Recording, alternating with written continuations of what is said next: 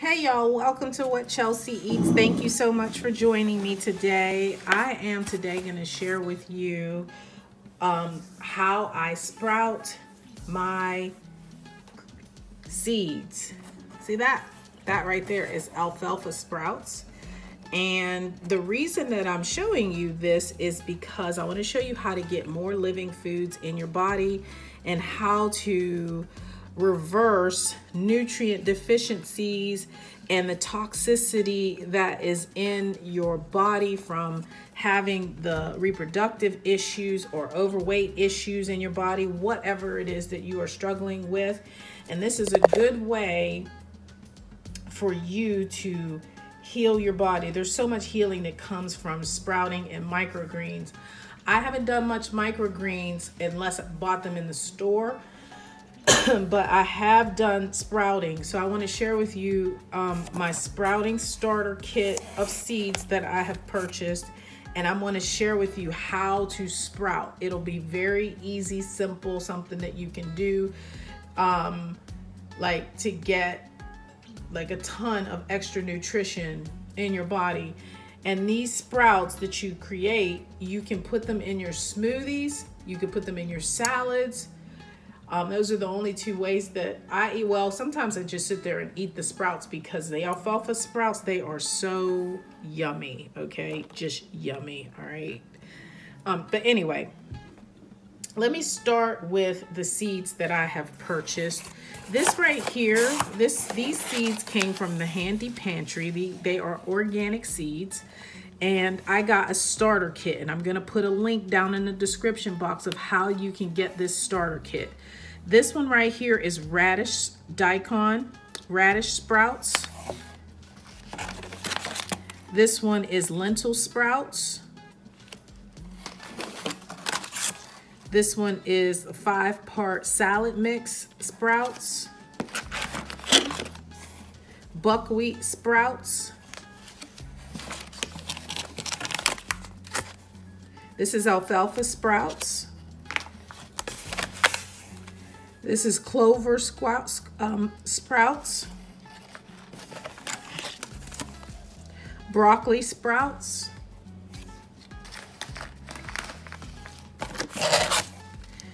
This is three-part salad mix sprouts. This is bean salad sprouts and bean sprouting. This is mung bean sprouts. So all these sprouts, all these seeds, first of all, this is gonna create so many sprouts, unbelievable. It's gonna be unbelievable. And they, like, it's so cheap to do this. Now, this box of all these seeds was like, I wanna say it was like 40 bucks, okay? But if you've ever gone to the grocery store and bought like the sprouts in the package like this, especially organic ones, you know that it costs four or five dollars for a box of sprouts depending on where you live in the country. I have had people say oh i could get a thing of sprouts for a couple dollars. That doesn't happen in raleigh north carolina where i'm from. So um it, it yeah it just doesn't happen. Okay so i'm gonna move this out of the way. And so i have this jar. This is a clean sprouting jar and i will put a link down in the description box as to where you can get these these jars. These are big jars so that you can grow lots of sprouts in um, these bottles. And I also use for sprouting my regular mason jars, 32 ounce mason jars. And then I have these sprouting lids. Actually, I need to get another jar for this one. I need to get the wide mouth jar. I didn't realize I bought these lids out that are small. So I need to get the other kind. Okay, so I got my wide mouth jar and then this is the lid that will go on top of the wide mouth jar. Okay, so what I have done here in the big in the big containers where you can grow lots of sprouts, this is about three days of sprouts, sprouts, and this is four tablespoons of sprouting seeds in this jar. So by the end of the week, six days, five, six days, this is going to actually have like this is going to be full. The jar is going to be busting up. So basically this is a half a gallon jar. So you can buy, you can even use a half a gallon mason jar. You don't even need to buy these, these um, jars, although they're not expensive. I like them because they have the mesh up here and it's easy to rinse the, rinse the sprouts off. So this is how you make the sprouts. So I'm gonna use this jar here. And what I'm gonna do is I'm gonna pick one of the sprouts. Let's see. I already have alfalfa right now, so let's do some broccoli sprouts. How about that? We'll do broccoli sprouts. So I'm gonna open up this container. Open up the container, open it up here. See what the seeds look like. And then I'm gonna, I've got my tablespoon here and I'm gonna put four, four tablespoons. One, two, three, four. So I've got four tablespoons in there. I'm gonna close my broccoli sprouts back up. Okay, let all the air out of the, as much as I can. Make sure I seal it properly so my seeds stay fresh. And then what I'm going to do is fill this jar up and let it soak overnight. So since I'm doing this in the morning, what I will do is at, you know, 12 hours from now, 10 hours from now, I will let this soak and then I will do the next step, which I'm gonna show you in just a second. So I have filled this with water and the water amount that you put in, you just wanna make sure you're double covering the, the seeds because what's gonna happen is, depending on the seed that you use, it will, those seeds will expand. So I'm gonna put the lid on. So in 12 hours or 10 hours, eight hours, whatever, whatever your overnight is, what you're gonna do is drain the water off. Drain the water off and you can drain the water easily because of this mesh cover on top. So if you're using a regular ball mason jar, you would put two tablespoons of seeds in. This is a four cup mason jar or a one liter mason jar. So you put two tablespoons in here. And then you would do the same thing. You would put the seeds in, cover it with water, and then put your, your sprouting lid on top and soak the seeds overnight. Okay, so once you have soaked the seeds overnight, what you're gonna do is pour the water off of the seeds. So you're gonna uh, turn your, your, your container upside down and drain all these seeds, the water off these seeds, and then rinse them. So you'll fill the thing up again and rinse, like agitate it around like that, and then rinse them again. And once you've rinsed them, what you're gonna do is get yourself a, a dish towel and let them sit on your counter. Your countertop, it could be dark, light. It doesn't have to be sitting in the sun or anything. You just make sure that it's not um, in a situation where it's sitting in standing water. So what you want to do is make sure you drain your jar as best you can. Some people set them upside down. Some people um, will put them in a bowl and like let the, the, the jar sit like slanted so that all the water drains out. But I I do this all the time and all I do is lay it on its side. So in the morning, I will rinse rinse it again and then lay it on its side.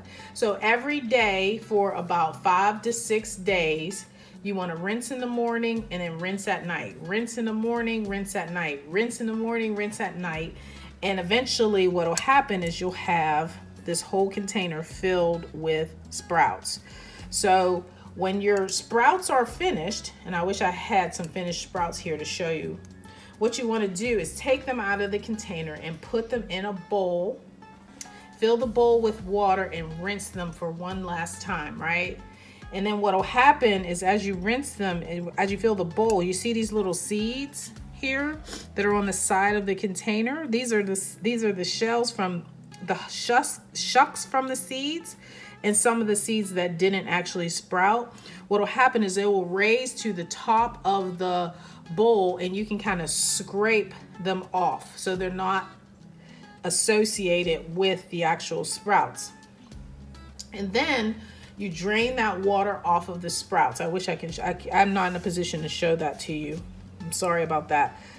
Um, I hope I'm explaining this well. But if you have questions, just put them down in the description box and I'll be glad to answer the questions.